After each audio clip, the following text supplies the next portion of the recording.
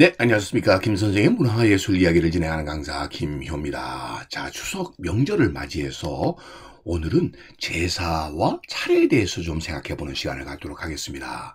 자, 일반적으로 우리가 제를 지낸다고 할 때는 이 신주나 위패나 지방이나 영정을 모시고 제를 지내게 마련이죠. 맨 왼쪽에 보시는 것이 바로 신주가 되겠고요. 자, 여기는 특징적인 것이 이 구멍이 이렇게 뚫려져 있는 것을 볼 수가 있습니다.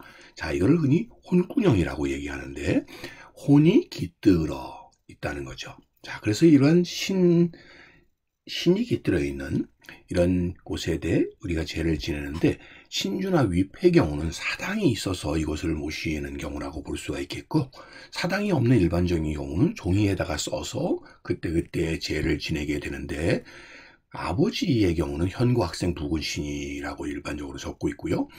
자, 어머니의 경우는 현비 유인 그 다음에 본관을 적고 신이 이렇게 적는 게 일반적이가 되겠죠. 아니면 아예 사진을 모시게 되는 영정을 모실 수도 있겠죠.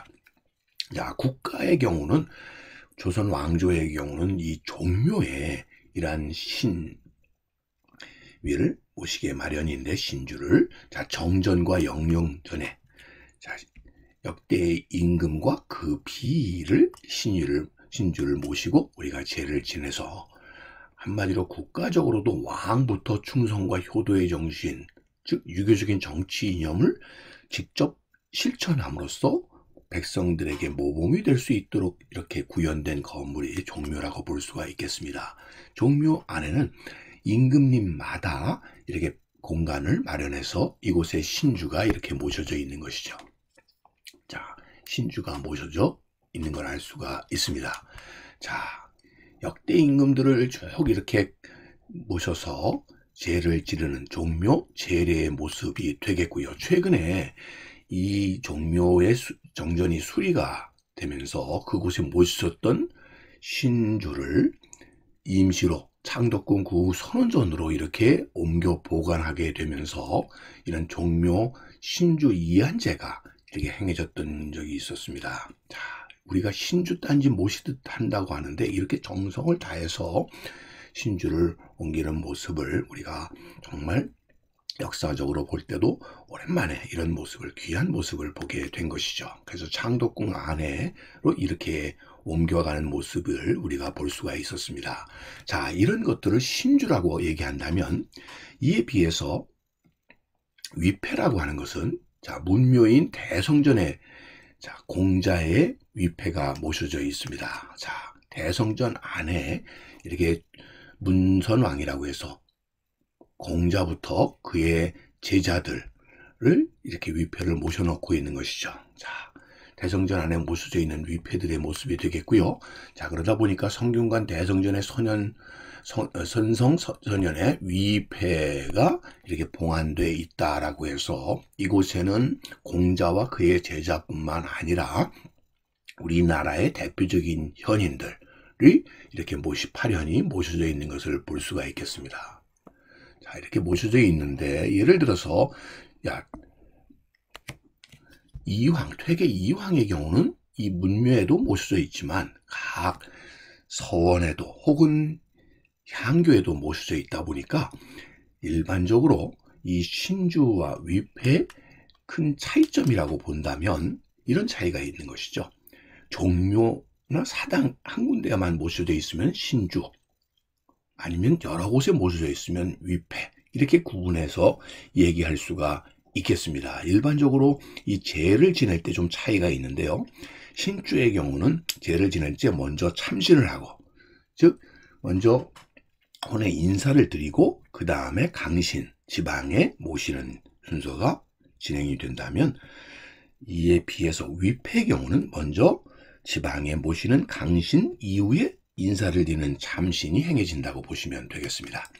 자, 이렇게 모여지는 사랑이 없을 경우는 지방을 쓰게 되는데 일반적으로 제사를 지낼 때 이 신주를 쓰는 방법이 이 부부 중심으로 되어 있다는 거죠. 아버지와 어머니, 할아버지와 할머니. 그런데 쓸 때는 내가 볼 때 왼편에 앞 남자를 오른편에는 여자를 쓰는 것이 맞는 거죠.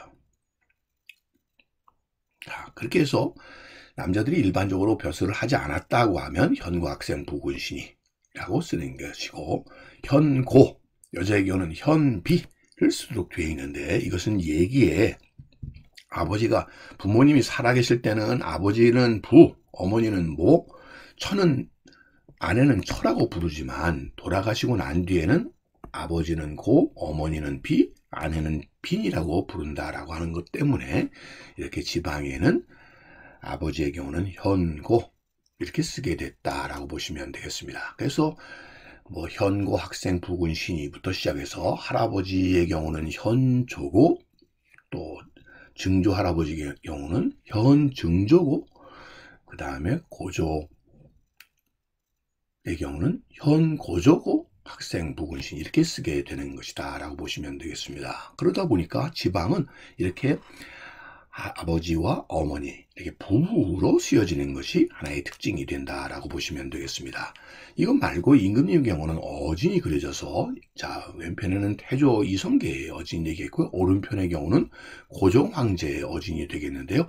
자 이렇게 어진이나 영정을 쓰게 되니까 오늘날 같으면 사진을 모시고 이렇게 제를 지내는 것도 전혀 잘못된 것이 아니라고 볼 수가 있겠습니다. 자 그래서 이 어진의 경우는 창덕궁 이 선원전에 이렇게 모셔져서 특별히 이 어진이 이런 영혼이 깃들어 있다고 믿고 이를 잘 모시는 이런 공간을 마련했었다라고 보시면 되겠습니다. 현재 이 신선원전 내부에 이렇게 12분의 임금님의 어진이 보관되어 있는 것을 통해서도 이 어진을 얼마나 소중히 여겼는가를 알 수가 있겠습니다.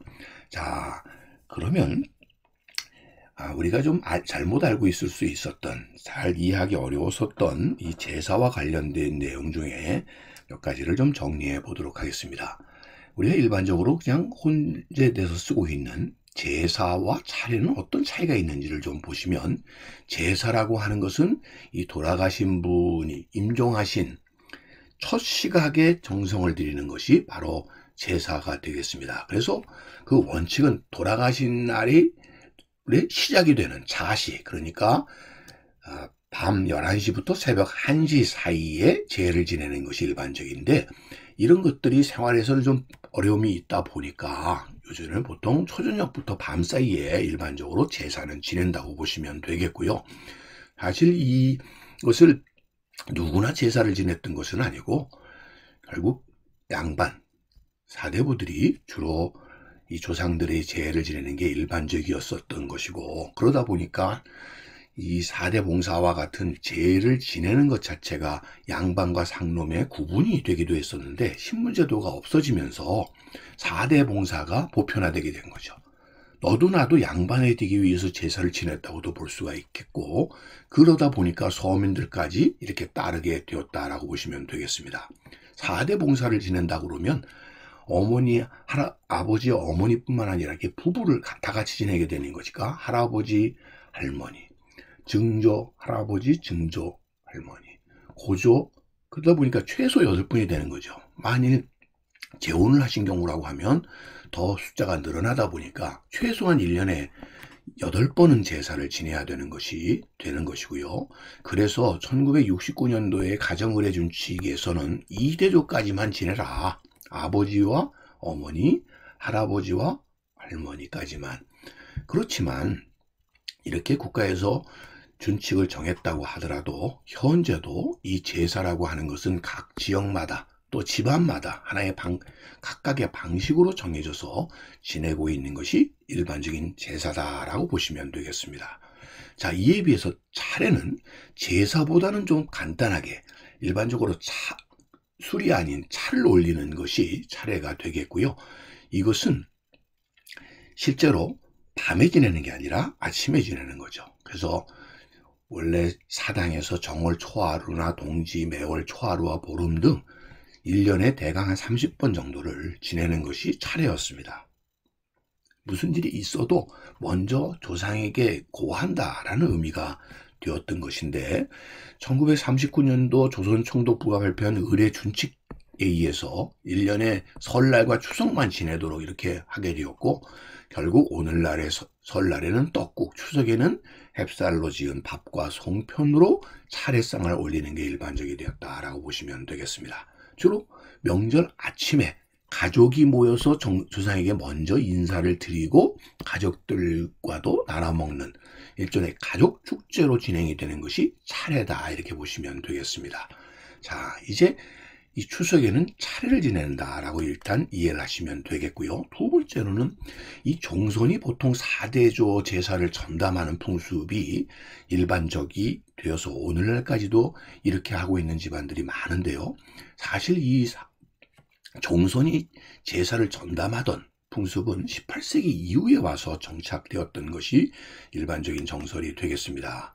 흔히 그 종가에서 남자 형제들이 중심이 되어 가지고 아버지, 할아버지, 증조, 고조까지 이런 제사를 지내는 전통은 주자가래가 정착된 18세기 이후에 종손 중심으로 이루어지게 되는데 이렇게 되는 데에는 제사를 거행한다는 주체라고 하는 것 때문에 가부장제적인 이런 가족제도가 확립되면서 재산 상속에 있어서도 결국 종가와 종손이 우대되는 이런 체제가 유지되는 과정 속에서 제사도 그들에 의해서 독점되게 되었다라고 보시는 것이 정확한 이런 전통의 시작이라고 볼 수가 있겠고요. 이것이 조선 후기의 제사 승계가 일제 강점기에 더욱 확고해지고 광복 이후에 이것이 지속되면서 마치 오늘날 고정불변의 전통처럼 굉장히 오래된 우리의 풍습으로 이렇게 이해하게 된 것이죠. 그러나 오늘날 가족제도, 가족법 자체가 자녀 균분 상속이 이루어질 뿐만 아니라 출간 딸도 똑같이 이렇게 상속이 이루어지고 남녀 평등이 확립되어 있는 상황 속에서 거기에다가 또 최근에 이런 코로나 상황까지 겹쳐지면서 이러한 이제까지의 제사에 대한 인식들은 큰 변화의 계기가 될 것으로 이렇게 보여지고 있습니다. 그런 의미에서 이제 우리는 19세기에 많이 그려졌었던 사당이 없다 보니까 이렇게 족자나 명풍으로 감모 여제도라고 해서 사당을 그려놓고 여기에 지방을 붙이고 죄를 지내었던 이렇게 간이 방식의 예들처럼 이렇게 떡벌어지게 상을 차리지 않고서도 결국 같은 조상을 우리가 함께 추억하거나 생각하고 이를 통해서 가족의 유대를 강화하면서 한편으로는 현재의 가족들 간에 함께 음식을 나누고 함께 제례를 지냄으로써 이것이 하나의 가족 간의 아름다운 전통으로 이렇게 자리 잡게 하는 노력이 이제는 필요한 때가 아닌가 하는 생각을 해보게 됩니다. 오늘 이 추석 아침 차례를 지낼 들과 함께 이 제사, 제사와 차례의 이란 전통에 대해서 꽃밭을 가꾸는 김 선생이 말씀드렸습니다.